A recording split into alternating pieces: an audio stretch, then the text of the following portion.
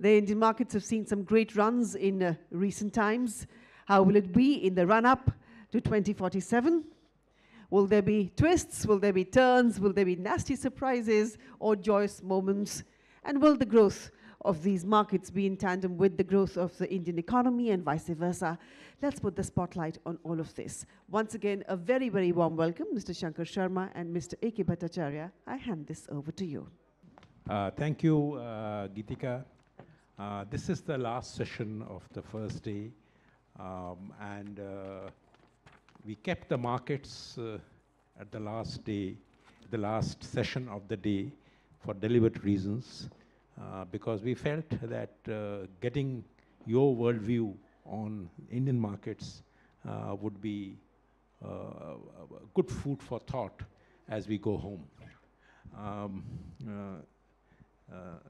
and thank you once again for agreeing to come all the way to Delhi. You are normally a regular feature for our BFSI summit. Yes, correct. And they are uh, always uh, sort of an In exciting Mumbai. thing.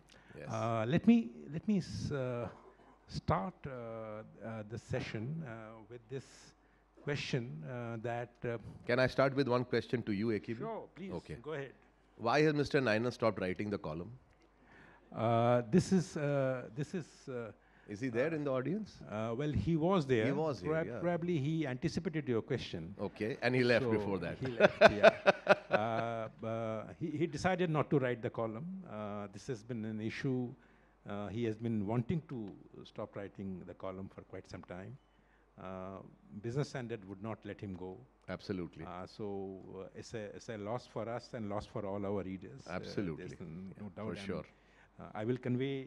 Uh, Please do that. Please do that. again. Even once a month would be Yeah, great. I mean, if. I can understand a Yeah, weekly yeah, column pressure. Yeah, I understand that. Yeah. Uh, and uh, but he does write for Business Standard. You may have seen his. We, we, we reproduced his his lecture on on reimagining Indian agriculture from an employment perspective. Right. Yeah, we, we published that, and it it, it it it was once again well received. Okay, great. Uh, so But please do convey my question. Sure, I will. I will. Great, I will. thank you. Uh, uh, let me uh, say that. Uh, uh, how do you see the the stock market uh, to perform or fare uh, in the next few weeks, uh, or let's say in the in the month of uh, June and July? You know what I am referring to. Yes, of course. Uh, you have the elections and all right, fine.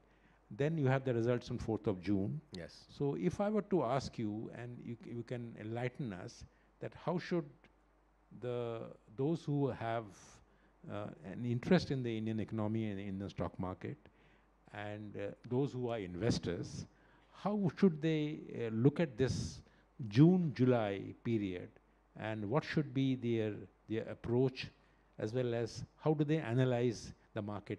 And can you give us your insight into the markets, the way they will pan out, uh, particularly in June and July, in different scenarios? Sure. Yeah. So first and foremost, uh, AKB, the key question to remember, or the key point to remember in markets is that uh, I might sound a little rude, but markets are not faithful bedfellows. Uh-huh. Okay.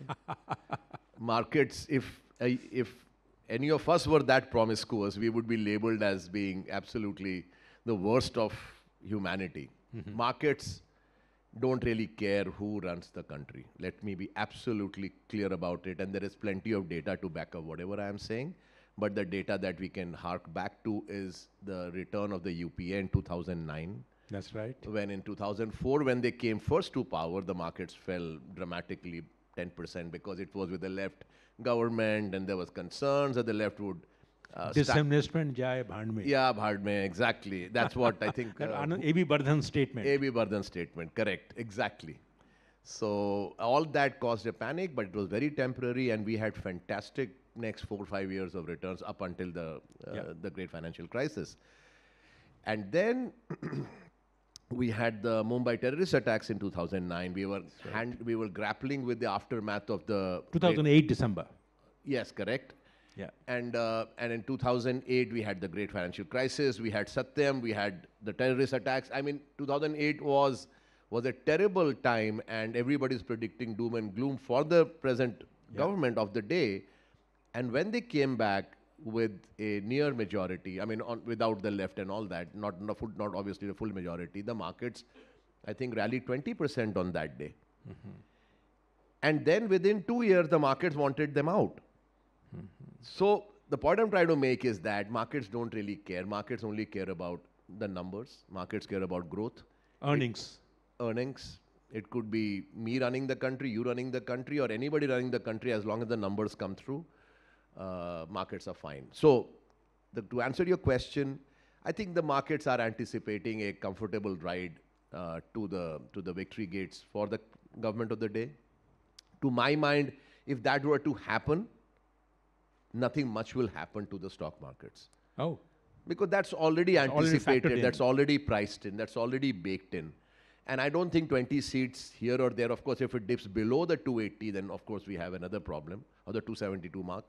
But assuming it is higher than that and it is higher by 20 or 30 seats or whatever it is, I don't think it will matter to the markets. Markets are good pricing mechanisms and it has priced in that situation. So the only thing that can happen on the it can only on the negative and not on the positive.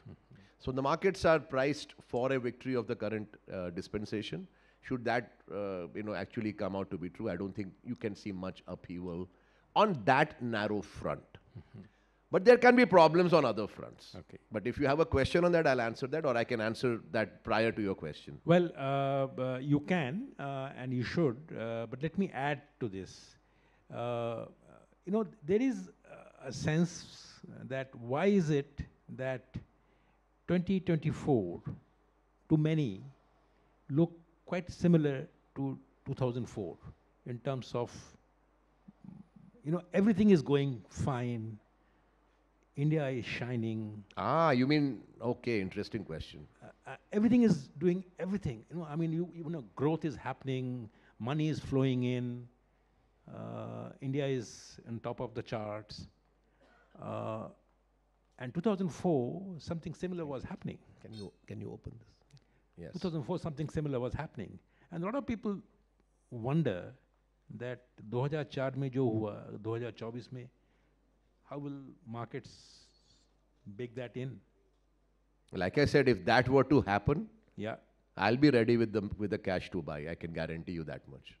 because you believe that the India growth story will Exactly. That is the core point that I that I said that markets are beyond a certain party and a certain leader, and we can all have political views and political leanings. There's no harm in that. We are a democratic country. We should have points of views on who's right for the country. But in my view, what is right for the country is that the person should be literate and the mm-hmm. person should not be totally corrupt. Some corruption the country can tolerate. Other than that, the India's itself organic growth story is unstoppable in my view for literally decades to come and that's simply because 150 crore population earning $2000 per capita has no other way to go except up we are literally even today on a per capita basis lower than many african countries. Mm-hmm. With a country as vibrant as india you can it doesn't take an economist of any measure to predict that this will become $4000 or $6000 or $8000 per capita. It does not matter who's running the country as long as like i said you know, they are not the worst. Mm-hmm. As long as an averagely good man runs the country and a good party runs the country, I think we are good. So therefore, my point is, if what you said in the 2004 situation happens in 2024, No, I'm just asking. You know, I mean, look, you are right. we should not be so sanguine about the fate of a movie, the fate of a of an election, and the fate of the stock markets. Yeah. Because each time we become so sanguine, the markets and all these three phenomena have a way, way of surprising us on the opposite. Correct. Uh, but if that were to happen, I think that will be the buying opportunity of the decade. okay.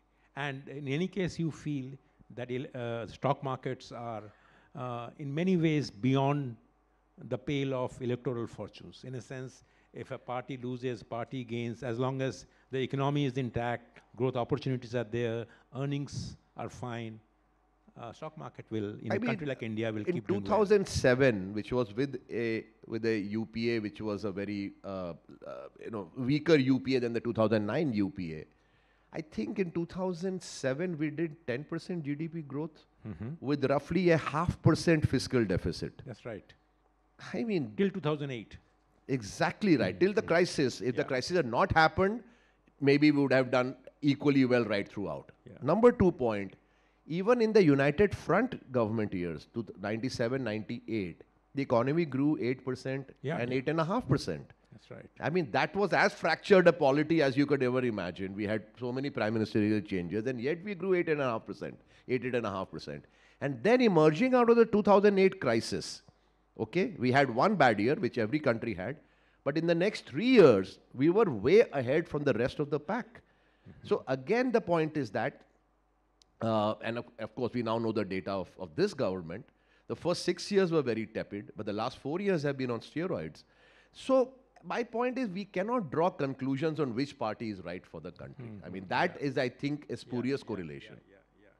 So, so my, my point is this the problems, as I was mentioning, might be different. And the problems for the equity markets can be simply that we have had four very good years, and no bull market that I know of lasts beyond five years. So, Okay. Because I wrote an article for another paper recently, and basically I said, even while I was writing it, it occurred to me that why is it that we have a bull as the animal depicting an upward trend and not a horse? oh, Yeah. Because a horse can run vast distances without pausing. yeah. But a bull is not physiologically, physically built to run for long periods of time at high speeds. It has, it can charge, So, it can sprint. so how long can it last? That's it. So the data is very clear. Again, data can be, I mean, the date, I mean, everything is a probability. I am telling you what is the most probable outcome. It could be that it may not come true, correct? Sure. That's okay. Sure. But we have to, we should still look at the data. The data is that no bull market really lasts beyond five years. It tires. Now we are seeing the wobbles in the year four. We are now just Yeah. as we speak today, entering the fifth year. Yeah. COVID was the low of March 20, of March 2020. March 23rd was the low, Yeah. to be precise, on the date, and we just crossed it. So now we are in the fifth year of this bull market. Bull markets in fifth years become very, very tricky. They become very moody. They become very, you know, uh, not predictable. This bull is already acting a tad unpredictable. You are making a And I- headline point on this. Yeah, and I think that is people is wondering is it because of the SEBI crackdown on or SEBI comment on small caps or ED crackdown on some some people from Dubai who had invested in companies Or the I'm RBI crackdown or on the RBI crackdown and- NBFC. I'm saying these problems in a young bull market would have been shrugged off by that bull. These problems for an aging bull market start to draw blood. Uh, that's an interesting point. That's the point I'm making. Okay. Uh, you know, I mean, a, a- related point, and I will come to this uh, aging bull market phenomenon. Uh, mm, you know, everybody talks about uh, uh, $10 trillion economy, uh, $5 trillion economy, um, per capita income will go up to $15,000. But nobody says by 2047, what will be the Sensex or Nifty like? I'm, I'm, I'm just curious to know, aren't people uh, tracking that sector and saying that somebody says 100,000, but nobody talks about 2047 as Sensex kitna hoga? Well, I mean, if you take a look at uh, just the market cap to GDP ratio, you predict the GDP and you say that we are trading at that market cap. Yeah. So I don't know what It's more than the GDP right now. It's slightly higher than Yeah. that. Yes, exactly. I, I agree, and which is another danger signal Yeah. to be to come Yeah. back to the danger points. Hmm. But if you take 120% or 100% or something, we, I don't know what numbers are being predicted. Yeah. If it is 40 trillion, what is the number being predicted for 47? Uh, well, uh, GDP. e- e- everybody's talking about 30 trillion or something like that. So that. 30, 35 trillion. So if you take a 1.2 ratio to that, if you're talking 40 trillion. But the point of these forecasts is that you should make the forecast so far out that you may not be even around to, de- to, to defend them in case they are wrong. big- That is the that is the way forecast should be no? made. so I am willing to make this forecast, although I, I'm definitely going to be around. But I mean, you know, to, Hmm. It's, right, it's a yeah. bit too far out to make these these kinds of predictions. Okay. Okay, but let's come back to the, the aging bull market thing. Yes. Uh, how would you see the, the current uh, doubts, questions, uh, on both the mid-cap segments and the small-cap segments. Everybody says there is froth. Somebody says, oh, the small cap is worse than the mid-cap. Mid-cap mein abhi bhi jaan hai. I mean, how do you, uh, from a, uh, from a stock market expert's point of view, look at both the mid-cap and the small cap, and what is their uh, lifespan, uh, what is their longevity going to be like? Yeah, that's a good question, but let me answer in another way. Yeah. Let me give you some broad data. 2015, 2014 May, now that we are entering the election season, let's compare the data for the last 10 years. 2014 May till 2024 March, or assume it is May for a minute to make the 10 years complete. The Sensex or the Nifty have given us 12% CAGR, For which period? 10 years. 10 years. 10 year period. By the way, the longer term forecast and the longer term data is 15.5%. So actually, in the last 10 years, the Sensex or the Nifty hmm. has delivered 3% point less than on per year basis, which is a lot on a, on a compounded basis, correct? Hmm, hmm. Less than its long term trend. That itself is a very telling data. And I don't ah. know why people don't talk about it or it's inconvenient to talk about it. But I'm talking about it right now because I guess that's why you called me. Yeah, Right. absolutely. That we want to talk a few uncomfortable Yeah, things yes, also. Yeah. Uh, so we have actually delivered less on the big companies than we have delivered on the small companies. And that raises one question that are big companies too big to keep growing at the rates we have seen in the past? If you look at aggregate profits of corporate India, it's 120, 130 billion dollars, whatever, 3 4% of GDP.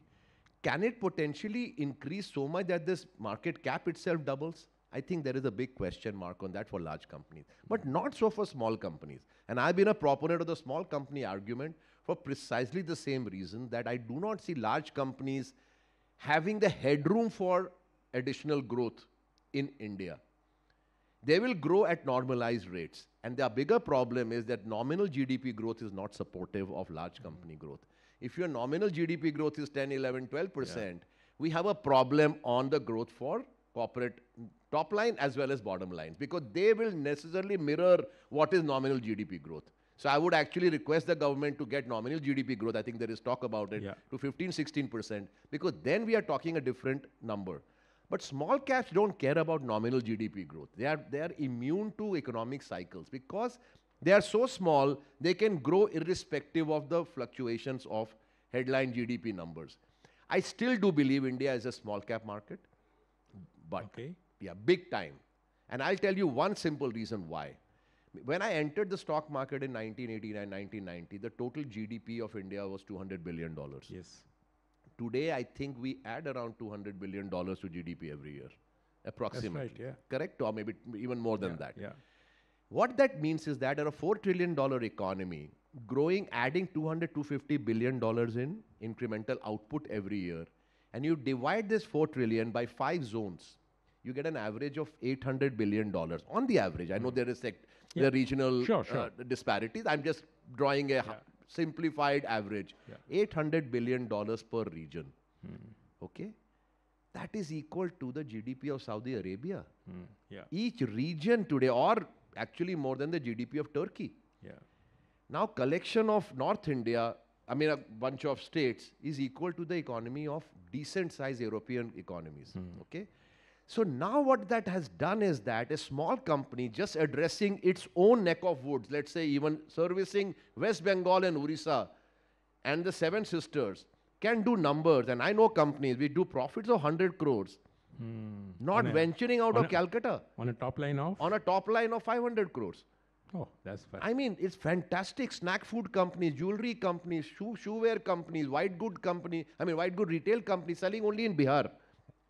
I mean, I, I'm shocked when I meet the promoter. He says, "Boss, there, there is flying off the shelves in, in states like Bihar. I don't even have to go to West Bengal." Hmm. So w- my theory on India has been last three, four years that now each part is equal to one country. Companies don't have to be pan India to get growth. Because a West Bengal company will be able to penetrate West Bengal be- better than a Nestle can if you're doing snack food or a Titan can if you're doing jewelry. They understand the local market. They can be low cost. Hmm. That's the story in India. It's a bunch of regional companies, which means smaller companies, and they can be much more nimble, agile as So you, compared to. you are essentially saying that uh, the the bull run is not aging as far as the small cap is concerned. Exactly. So isn't that a, I mean, isn't that a contrary to the It's not contradictory. What will happen is that we, in the market that oh small cap may problem hai, don't get into it. So I always say small caps are ex- they are like the mafia. It's easy to enter and impossible to exit. So so so and and the other thing I always say is that the small cap train is the only train you should jump off when it is going at high speed. Okay. Because when it's slowing you can you should not jump off. then you will jump off. actually get killed. There is Yeah, no yeah. exit. There's no exit. So I always say this as a matter of systematic investing, please take some money off the table in small caps. Doesn't mean you should sit, sit on cash. Nobody can, nobody should. And they will be far more volatile. There will be promoter quality doubts, there will be balance sheet problems, there will be all kinds of problems. But still, the game remains that. Okay. It's a tough game. Yeah.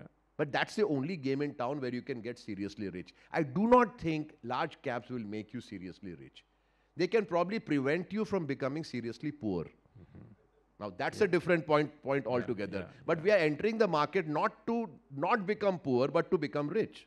Yeah. Correct. Wha- wha- what's your take on the mid cap segment? Now mid cap is neither here nor there. Now there there are decent companies in the let's say 5,000 crore to maybe 20, 25,000, which is Yeah. more or less the mid cap range. They're, they're, they're, they're decent companies. But my view is that if you are an investor which whose land a lot of young people have come in, they are there to become seriously wealthy, hmm. not just to hmm. compound wealth at 12%. Okay. There you will necessarily have to buy a bunch of these assortment of companies, which is 50 crore, 100 crore, 200 crore, 500 crore, 1000 crore market caps. And out of that, unless you're an absolute idiot, you should be able to get five fantastic companies. You will not get 50 fantastic companies. But those five will more than make up for the pop or the sins we'll commit in the balance 40 45. Okay. That's the way, it's a game of probability. Okay. That's the way I look at it. So what you are saying is uh, that uh, large cap uh, has uh, the risks of uh, aging, bull run. I mean, the numbers are telling you, AKB. Yeah. Uh, mid cap, uh, neither here nor there. It is a small cap, which is the story of the future. Absolutely, because India is a Because collection way, of large way markets. it is a connection of large markets. exactly right. Yeah. Okay. Uh, let's sh- uh, sort of shift gears a bit. Uh, you know, uh, we uh, whenever you talk about investing, we only talk about uh, you know equity markets. Yes. But there are many other markets, Of course. also doing very well. You have got gold, you've got real estate, uh, you've got debt. Um, uh, what will be your forecast for gold, real estate, and debt going forward in our journey to? So first, I must say this: that Indian investors, I'm not talking investors in stock equity market, Indian investors overall, their pie chart of investing has been phenomenal. I mean, the primary uh, uh, vehicle of investing has been real estate, followed by gold, or might be a different proportion depending on which segment you're talking about, and then bank fixed deposits. That, to my mind, should remain the fundamental bedrock of any average. I'm a professional; I can be 100% equity, but that's that's that's for me. That's not relevant for large parts of the population. I would not recommend that you should have anybody should have more than uh, at the highest 30% exposure to equities. Beyond that, you're then becoming a professional, and do you have the tools and the mindset to become one? Please evaluate that. Even less so, is so okay. what is this big thing about 60-40 ratio, depending on your age, if you are 60, this should be the share, you know. is- So is look, we are all in the you, you are saying something different. I'm saying completely different. So I don't agree with that, although it's a well marketed theory. Yeah. See, understand this our industry is fantastic at marketing. Not all the marketing need be true. Okay. okay. But it can be true long enough for people to start believing that this is the ultimate truth. But all I know is that it's not the ultimate truth. The ultimate truth is that third equity should not be more than Than 30. 30%. Even if your overall returns come down as a result. You- Ultimately, it's about risk adjusted returns. Okay. You know, if I'll give you one example, AKB. Hmm. Equities have returned us in the last 10 years 12%. Annual volatility is maybe around 12 or 15%. Okay? So your Sharpe ratio of equity returns is 0.9. Okay. Okay? Bank FD, I think most throughout my life and even today have yielded anything between 8 to 12%. Take an average rate of 9% with almost zero volatility. Okay? But there is a tax element there. Tax is because that's a certainty. Here, the, you don't even know whether it's a certainty or not. Please understand this. It is not that you're, it's a birthright to get 12% return, correct? Yeah, yeah, sure. So, with that, I'm saying your Sharpe ratio on a bank fixed deposit is literally 9 because vol is 0 or let's say it is less than 2%. Versus that, you have equity with at 0.9. Look at the differential in risk adjusted return between a bank FD and an equity asset. So I'm saying by all means play equity, but with very calibrated exposure. Please don't start buying the hype that my industry puts out continuously on television and media. Okay.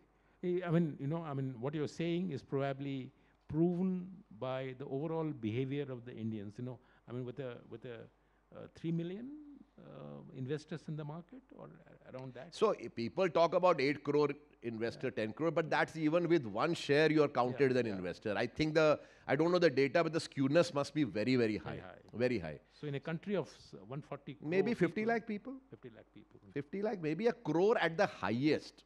So so they, they are listening to you then.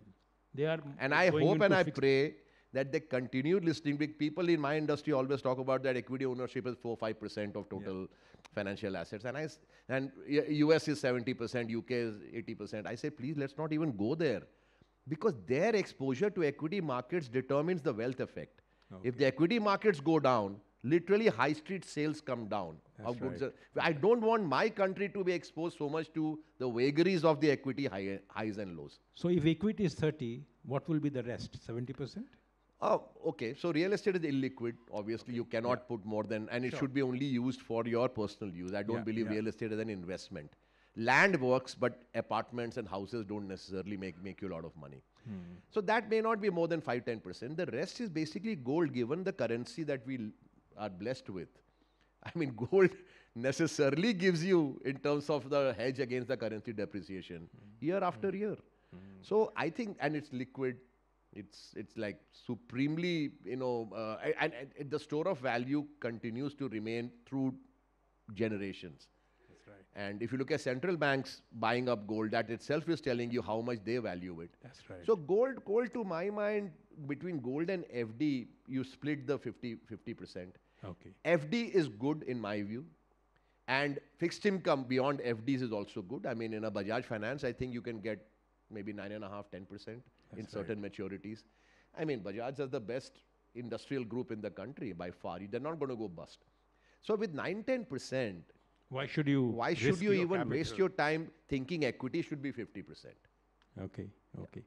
I know it's not going to, be this talk, if it gets out there, it's not going to make me very popular with my No, you know, I think what you are sa- compatriots, but it is what it is. Is a, is a point of view. Yeah. Uh, you know, I mean, uh, the in this any discussion on on the stocks and uh, the financial markets, uh, the elephant in the room in these days is technology. In a sense, uh, that uh, what role will technology and particularly AI, and we had a lovely session in the morning uh, on AI. Um, how will AI and the advent of technology at this rapid pace uh, will play out, and how do you see the technology sector? Uh, is, is it a sector uh, that is worth looking at, and how should one approach it? How will technology sector, technology will, will impact your stock markets, and how will you, how should one look at the entire phenomena, the symbiotic relationship between technology and the stocks? So, I mean, in my opinion, and I'm a firm believer in AI for equity investing, or for that matter, any kind of investing. Our funds run on that basis. Uh, in fact, we are working on a product to make for the average investor on the street using AI Yeah. to literally level the playing field between the sophisticated institutional investors and small investors. I mean, this is going to be the future. I think active managers or the human beings in the management, the fund management industry, they really need to be watching out for their seats. It is going to transform industry after industry, and our industry is the most easily transformed industry. Hmm. There is no reason why a machine cannot do a better job of picking stocks than human beings can. There is no reason, absolutely none. And it is reshaping, if you talk about technology sector or the IT services hmm. sector, I think there is a problem that they have, without Yeah. any doubt that our IT majors face a fairly uncertain future on that front. Yeah, yeah. So I think both things combined, look, change is there. How we exploit it is ultimately, rather than fighting it, I'm all there to exploit change. This change I'm exploiting as an investor. Most people will, and Indians are good at tech in Yeah. general. They will hmm. adapt and adopt it quickly. For the technology majors, they will they will need to figure out a new new act for sure. Okay, okay. Now, uh, my final question before you go to the, the audience for their questions. Uh, we're running out of time now, just 10 minutes left. Uh, uh, I know it's a, it's a slightly uh, tricky question. Uh, what is, you think, what is going right or what is going wrong for the regulator as far as stock markets are concerned? Do you mean SEBI or I- or, I- or RBI both, or both? both, both play a role Yes. in the, in yeah, the, in yeah, the stock markets. So, in my view, as far as SEBI is concerned, on the stock market, I think uh, the chairperson voiced her concerns on the on the froth here, and then of course SEBI has been very active. We've seen cases, you know, of That's right. corporate fraud being Yeah. unearthed and all that. You know, large media company.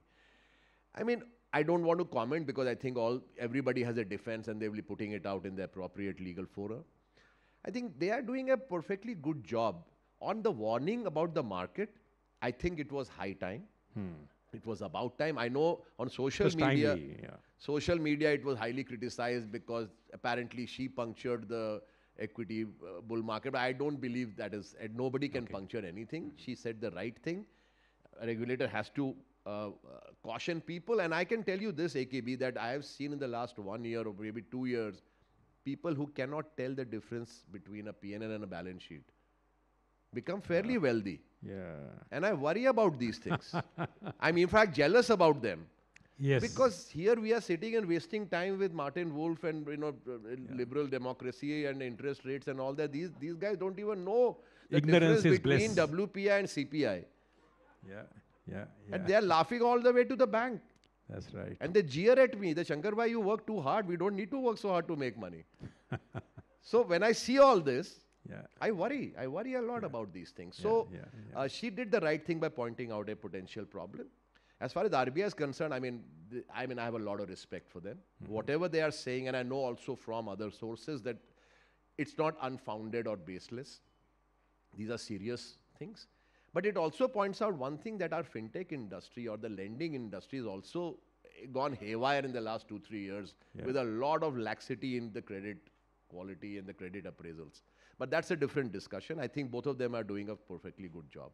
But I have another question for you. Sure, but whatever has happened on the on the fintech regulation and the stock market regulation has happened for the good. I'm 100%. I have no disagreement Okay. whatsoever. Sure. You, what's your yeah, question? my question is this, and not a, not, not a question. It's a, it's it's a thought that we have now 10 years of this government.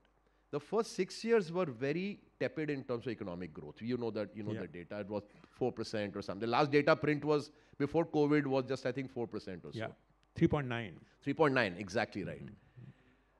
In the last four years, we've had obviously COVID and then a big crash in GDP, a shooting of the fiscal deficit, and now a relative normalization of the fiscal deficit. But it's a new, new normal in which we are projecting to come down to four and a half. Back in the day, going up to four and a half would have crashed the stock market, crashed the bond market. But how easily we have adjusted to a four and a half, बहुत अच्छा लगता है अभी तो because optically it is less than the six and the sevens, which we have gotten used to in the last two or three years. My point is, and my concern and my question is, that has driven capex. That in turn has driven equity markets. Yeah.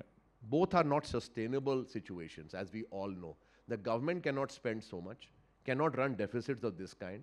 Once they normalize this even to four and a half, let alone to the good old days of two and a half or three, when we considered that in Pranab Da's, Yeah. or even Manmohan Singh's tenure, that even three was considered high.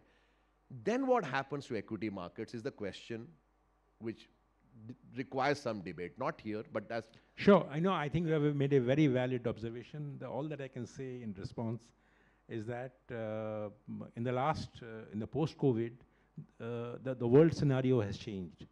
Uh, you know, industrial policy is back. Globalization is something of a word that is not really looked at uh, in the same way as it would be in, in the 1990s. yes, Uh, the world has changed. Fiscal deficit as a concept itself is no longer as Brahminical a concept as it used to be. But should it not be? Uh, now the well, uh, US has 130% No, debt to GDP. I, I, in, in all fairness, what the government has done is, is, is, is, uh, is relaxed its pace of fiscal consolidation to pump in that extra money through capex. And my sense is, and I'm only uh, giving you my assessment, Sure, sure. is that there will be uh, instruments coming going forward the next five years, probably on the consumption side. But without that, you, you're the, the engine of the, the economy will not just move on, on only on investment. exactly. It has to have consumption. Exactly right. So, so therefore, uh, so far the government has uh, very astutely stayed away from giving any direct, uh, you know, Im- impetus to, con- consumption. to consumption. uh, I mean, stayed away from in terms of tax incentive or tax yeah, yeah. this thing. So my sense is a time will come when the government alone cannot just go in for investment. It has to go in for clearly measures to. Uh, but I'm not the finance minister, so. so any questions from the floor? Uh, please go ahead. Yeah, identify yourself. Uh,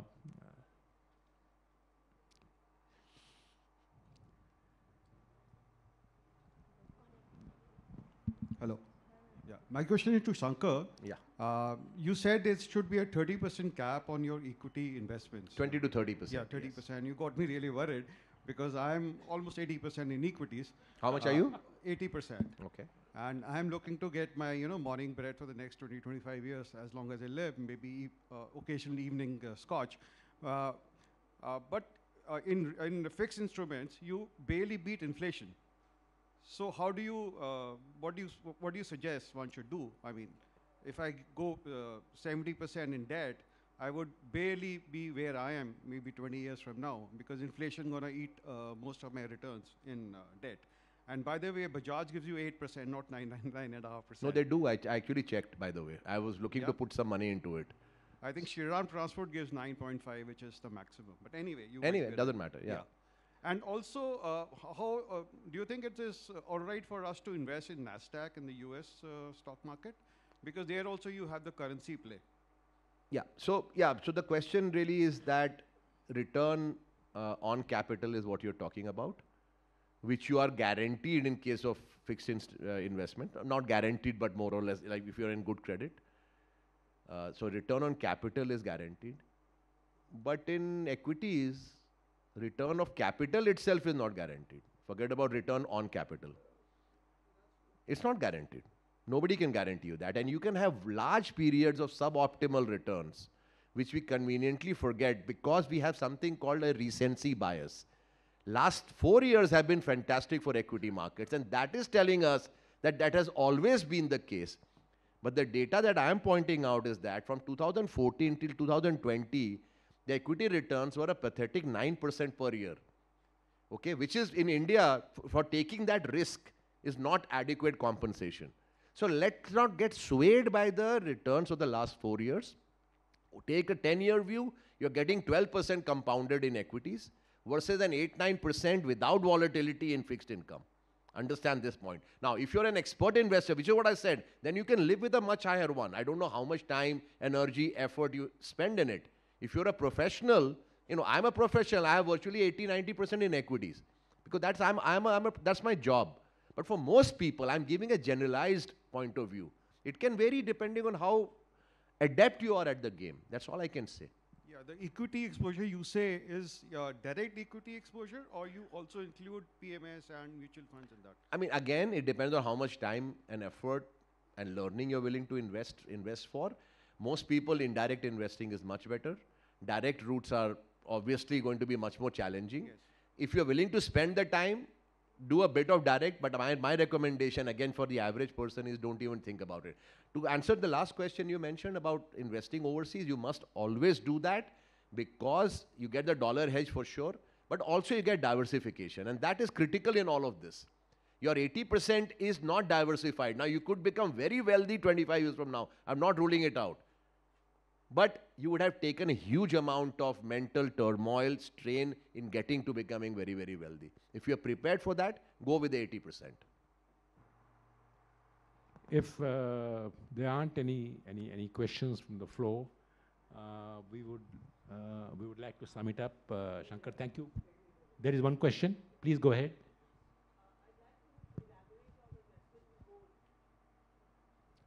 Investment in gold. What, what exactly is your question? Uh, I'd like for you to elaborate uh, about the investment in gold that you uh, spoke about. So gold is literally a hedge against the dollar rupee, you know, exchange rate, and you know, if nothing else, it will mirror this. But sometimes it does even better than that. And by and large, if you look at the long-term returns from gold, it has fairly low volatility and a steady upward, you know, climb. In part because of our own currency depreciating almost continuously. So, you know, I think for Indians who are used to having less volatility, because we have a lot of volatility in our daily lives. See, equity is good if your if your life is very well settled. I always say this. It should be an outcome of how well settled you are in your own life, so that you can take risk. Western democracies, well settled, you know, good income, you know, you have good visibility of life. In India, we are not there yet.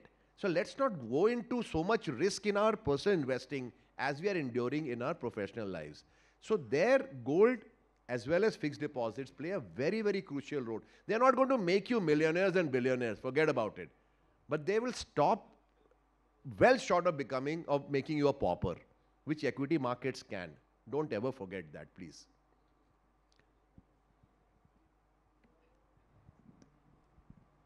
Suppose you have got 100%, like 80% of your uh, money put into equity. What should be the safest mode of putting your money in the percentage of large cap, mid cap, and small cap? To Again, take the hedging of uh, this. Again, the same thing. Large caps won't make you a lot of money, but they won't obviously make you a pauper. So it's all about risk and return. So you know, if you're happy with a 8 10 percent annual return, which I don't think more than that is possible on a long-term basis from large caps, you know, have 40 50 percent there within equity itself. And small caps should be, you know, 30 to 30 to 50 percent. Small and mid. Mid might be 10 or 15 percent. But small caps are where you'll make a lot of money, but also a lot of you can lose more hair than probably what you've lost already. Okay, I think we have come to the end of this wonderful session. Uh, if I can um, try to sum it up, uh, Shankar, with your permission, uh, I think what you are saying is don't excessively worry about the election results. Uh, they uh, may be this way or that way, but the stock markets will find its own uh, um, you know, mo- movement and velocity. Number two uh, is the bull run that you have seen so far is aging, so beware of it. Number three, that uh, if you are uh, a person who is not, uh, who does not have the energy and the and the and the mind space to focus on what kind of investment you want to make, uh, it's better to be uh, to limit your exposure to equity and rather go in for gold and FD. And finally, the regulators are doing a good job. So that's the summary of, of the day. Thank you very much once again. Please give him a very good hand for this. Thank you very much for your presence and your advice and your insights. Please come together for a group photograph. Ladies and gentlemen, a round of applause for our esteemed panelists, please.